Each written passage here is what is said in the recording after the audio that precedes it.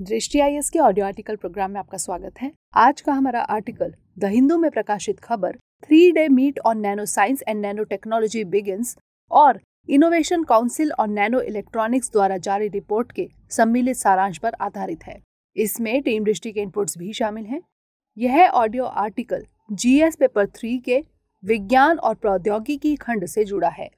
तो आइए आर्टिकल की शुरुआत करते हैं। हमारे वीडियो अंग्रेज़ी में देखने के लिए फॉलो करें। हमारा ही दूसरा YouTube channel Drishti IAS English बीते दिनों S R M institute of technology ने छठी international conference on nano science and nano technology आयोजित की थी। इसे कई विदेशी यूनिवर्सिटी सहित भारत के Tata institute of fundamental research Indian physics association और इंडियन कार्बन सोसाइटी के सहयोग से आयोजित किया गया था। इसका मकसद एकेडमिक्स उद्योग और वैज्ञानिकों को इस क्षेत्र पर अध्ययन के लिए एक कॉमन प्लेटफॉर्म मुहैया कराना था। गौरतलब है कि वर्तमान में नैनो टेक्नोलॉजी कृषि से लेकर स्वास्थ्य, ऊर्जा और इलेक्ट्रॉनिक्स जैसे हर क्षेत्र में उपयोगी साबित हो रही है। इसे 21वीं सदी की मुख्य प्रौद्योगिकी कहा जा रहा है। इसी के मद्देनजर आज के आर्टिकल में हम नैनो टेक्नोलॉजी से जुड़े हर पहलू पर बात करेंगे। जानेंगे कि नैनो प्रौद्योगिकी क्या है, इसके अनुप्रयोग क्या हैं, भारत में नैनो प्रौद्योगिकी की क्या स्थिति है, इस दिशा में भारत सरकार के कौन से मिशन हैं नैनो प्रौद्योगिकी से जुड़ी चुनौतियाँ क्या हैं, साथ ही इसके भविष्य पर भी बात करेंगे। सबसे पहले देखते हैं कि नैनो टेक्नोलॉजी क्या है। नैनो फिजिक्स को ग्रीक भाषा में ड्वार्फ या बेहद छोटे के अर्थ में प्रयोग किया जाता है। इसी फिजिक्स का प्रयोग करके नैनो टेक्नोलॉजी नैनो साइंस और नैनो इंजीनियरिंग जैसे शब्द बने हैं। एक बार नैनो टेक्नोलॉजी नैनो साइंस और नैनो इंजीनियरिंग के अंतर को समझते हैं। नैनो साइंस में एक से सौ नैनोमीटर की स्केल पर संरचनाओं और मॉलिक्यूल्स का अध्ययन किया जाता है। नैनो इंजीनियरिंग में इन गुणों के प्रभावी उपयोग पर फोकस किया जाता है। वहीं नैनो टेक्नोलॉजी की बात करें तो साल उन्नीस सौ उनसठ में अमेरिकी भौतिक विज्ञानी रिचर्ड फिनमैन ने इसकी अवधारणा पेश की। एक मीटिंग के दौरान उन्होंने there is plenty of room at the bottom शीर्षक से एक लेक्चर दिया था। लेक्चर के दौरान उन्होंने एक हाइपोथेसिस दी, जिसमें कहा कि हम इंसाइक्लोपीडिया ब्रिटानिका के सभी 24 वॉल्यूम्स को एक पिन की नोक पर क्यों नहीं लिख सकते? इसी के साथ उन्होंने छोटी मशीन्स का निर्माण और उन्हें मॉलिक्यूलर स्तर तक छोटा करने के अपने विजन को रखा। इसी वजह से रिचर्ड फिनमैन को आधुनिक नैनो टेक्नोलॉजी का पिता माना जाता है। तकरीबन पंद्रह साल बाद जापान के वैज्ञानिक नोरियो तानीगुची ने नैनो टेक्नोलॉजी शब्द का पहली बार प्रयोग किया और इसे परिभाषित किया। तानीगुची के मुताबिक नैनो टेक्नोलॉजी में एक मॉलिक्यूल या एक एटम से बने पदार्थों का सेपरेशन यानी अलग होना, कंसोलिडेशन यानी उनका एक साथ आना और डिफॉर्मेशन यानी इनमें बिखराव की प्रक्रिया शामिल होती है। भारत में नैनो टेक्नोलॉजी के पिता professor C N R Rao को माना जाता है। सरल शब्दों में कहें तो नैनो टेक्नोलॉजी एक ऐसी तकनीक है, जिसमें पदार्थों में अणु और परमाणु के स्तर पर बदलाव किया जाता है। इससे इनके मूलभूत गुणों में अंतर आता है। अणु और परमाणुओं की डायमेंशंस नैनोमीटर में होती हैं। इसलिए इसे नैनो तकनीक और इससे बनने वाले उत्पादों को नैनो मेटीरियल्स यानी नैनो उत्पाद कहा जाता है। इसमें नैनो स्केल के एक से सौ नैनोमीटर पर काम किया जाता है। एक nanometre ten to the power of minus nine metre के बराबर होता है, यानी एक नैनोमीटर मीटर के एक बिलियनवे हिस्से के बराबर होता है। इस तकनीक के ज़रिए बनाए गए उत्पाद आकार में छोटे और हल्के होते हैं। माध्यम के आधार पर देखें तो नैनो तकनीक को दो भागों में विभाजित किया जा सकता है। पहला है ड्राई नैनो टेक्नोलॉजी इसके तहत कोयला सिलिकॉन, अकार्बनिक पदार्थ, धातुओं, अर्धचालकों आदि में नैनो संरचनाओं का निर्माण किया जाता है। दूसरा है वेट टेक्नोलॉजी, जो कि जेनेटिक मटेरियल, मेम्ब्रेन, एंजाइम्स और कोशिकीय घटकों से संबंधित है। नैनो टेक्नोलॉजी में उत्पादों के निर्माण के लिए दो अप्रोच अपनाई जाती हैं, टॉप डाउन अप्रोच और बॉटम अप अप्रोच। इन दोनों अप्रोच में गुणवत्ता, गति और लागत का फ़र्क है। टॉप डाउन अप्रोच में एक बड़े पदार्थ को तोड़कर नैनो आकार के कणों में तब्दील किया जाता है। इस प्रक्रिया में प्रिसीजन, इंजीनियरिंग और लिथोग्राफी जैसी तकनीकों का प्रयोग किया जाता है। बॉटम अप अप्रोच में नैनो संरचना का विकास भौतिक और रासायनिक तरीकों से नैनो स्केल में एक से सौ नैनोमीटर की रेंज पर किया जाता है।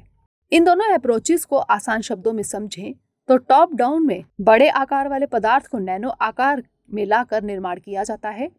जबकि बॉटम अप अप्रोच में परमाणु या अणु के स्तर पर निर्माण किया जाता है। बॉटम टू अप प्रक्रिया के चलते इसमें कचरा कम उत्पन्न होता है। इन अप्रोचेस से विभिन्न तरह के नैनो उत्पादों का निर्माण किया जाता है।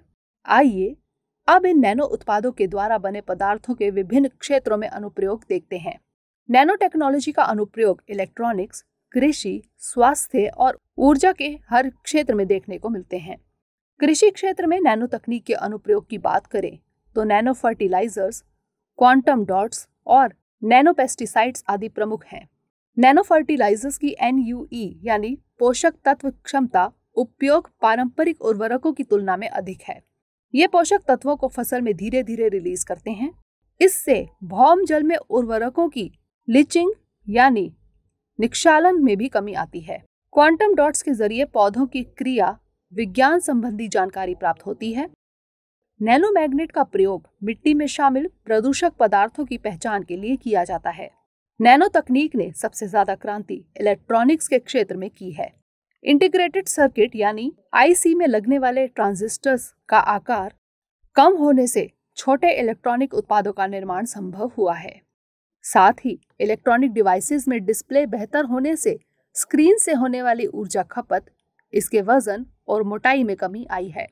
नैनो तकनीक का उत्पाद सी एन टी यानी कार्बन नैनो ट्यूब्स इस क्षेत्र में बहुत महत्वपूर्ण साबित हुआ है। सी एन टी माइक्रोचिप्स और डिवाइसेस के निर्माण के लिए सिलिकॉन की जगह प्रयोग किए जा रहे हैं।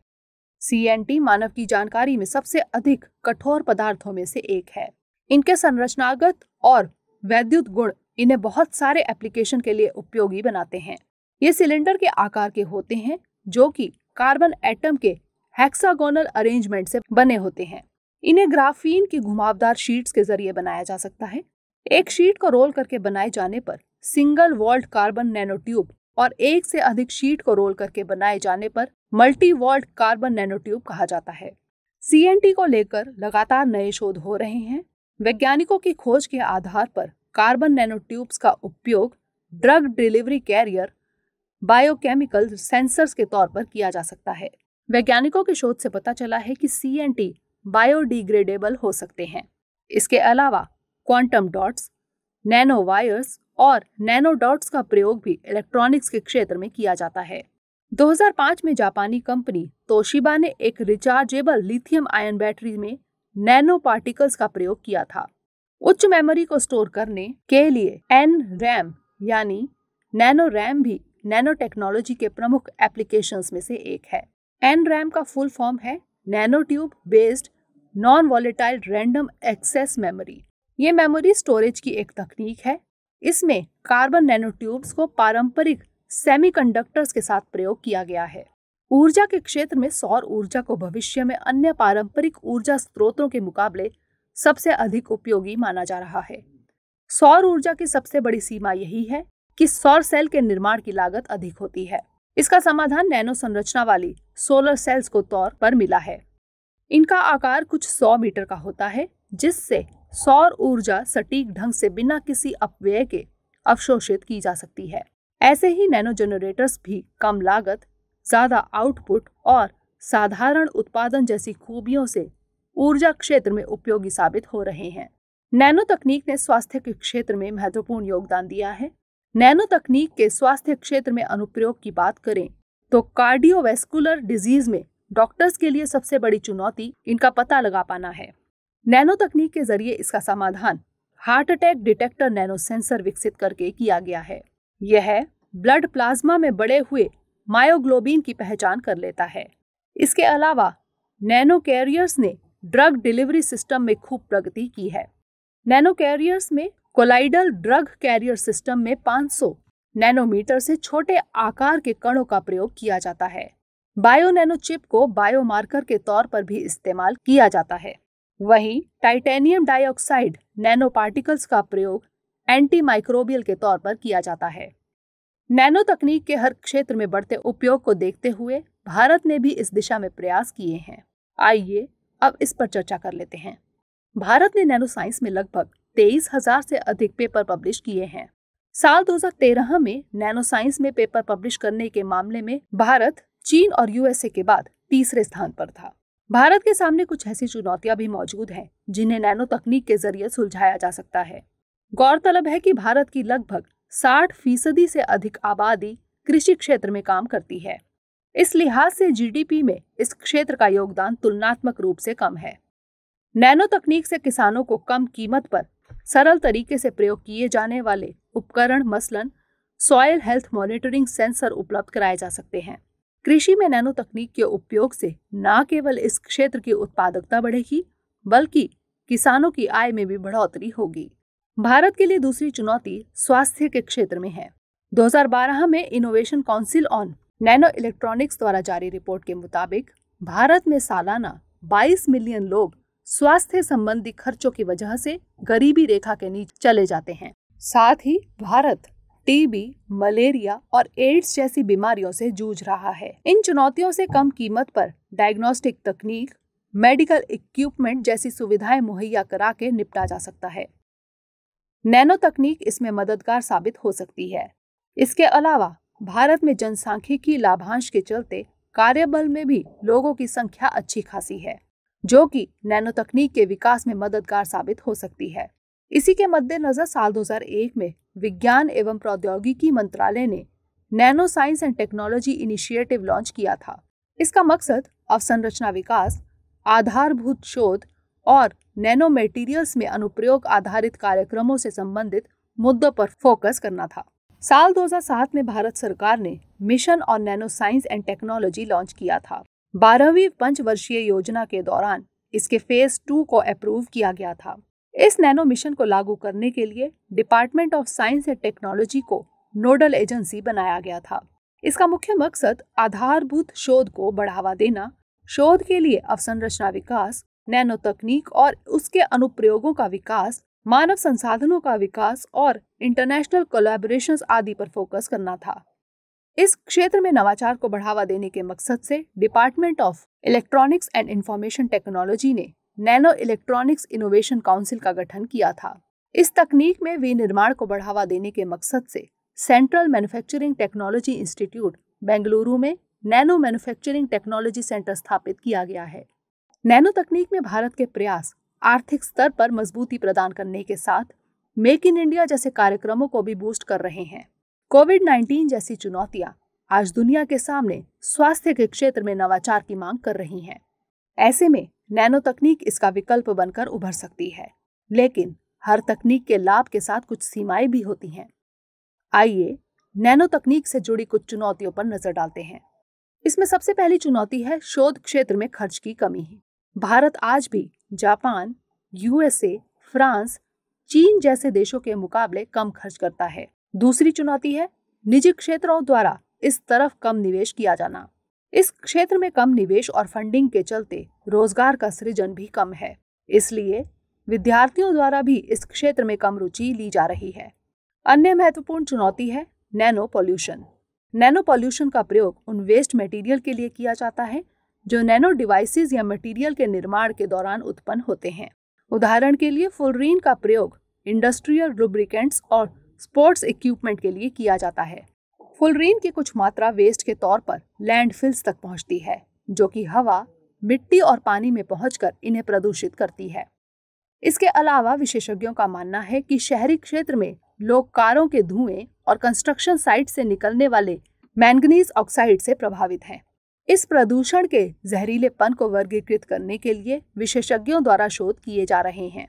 एक अन्य चुनौती है कि नैनो पार्टिकल्स आकार में बेहद छोटे होते हैं, जिससे वे जीवित कोशिकाओं में आसानी से प्रवेश कर सकते हैं, जो कि मानव स्वास्थ्य को नुकसान पहुँचाने में सक्षम है। इन चुनौतियों के मद्देनजर राष्ट्रीय स्तर पर एक नियामकीय फ्रेमवर्क होना चाहिए, जो कि नैनो तकनीक से जुड़े सुरक्षा संबंधी आयामों और इससे जुड़े जोखिमों से निपटा जा सके। आइए अब निष्कर्ष की ओर बढ़ते हैं। हम कह सकते हैं कि भारत में नैनो तकनीक के विकास की नींव इस आधार पर रखी गई है कि यह भारत की सामाजिक और आर्थिक चुनौतियों से लड़ने में मदद कर सकती है। भारत ने इस दिशा में योजनाओं के ज़रिए कई महत्वपूर्ण प्रयास भी किए हैं। दुनिया भर में नैनो तकनीक से उपजी चुनौतियों का सामना करने के लिए देशों ने नियामकीय फ्रेमवर्क तैयार किए हैं। भारत को भी अपने लोगों और पर्यावरण की सुरक्षा के लिए रणनीतिक फ्रेमवर्क लाने की ज़रूरत है। इस क्षेत्र में हो रही रिसर्च में निवेश करके ही भारत इस असीमित क्षमता वाली तकनीक का लाभ ले सकेगा। आइए अब नोट करते हैं आज का सवाल। नैनो तकनीक से आप क्या समझते हैं? स्वास्थ्य क्षेत्र में यह किस तरह उपयोगी हो रही है?